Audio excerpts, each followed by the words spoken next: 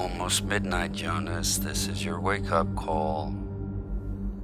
I think there's a few things you should know about the practicalities of being a trader. I'm a bit old fashioned, Jonas. I prefer the word trader.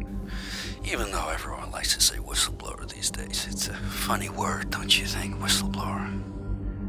Like there's a fire in the barn. Like a fat kid's flailing in the grown up end of the swimming pool.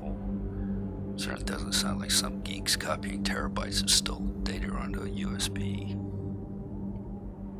If you continue down the path you're on, you'll either get locked up for a very long time or end up in Moscow. That's the truth of it. Hezbollah and ISIS don't have asylum programs. Al Jazeera can't put a stamp in your passport. You need to accept your father's not coming home. That cut above your eye is going to be nothing compared to what I do to you.